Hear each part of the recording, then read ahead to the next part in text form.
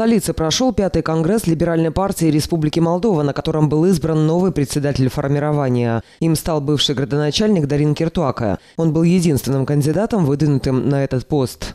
Возглавлявший 20 лет либеральную партию Михай Гимпу был избран почетным председателем.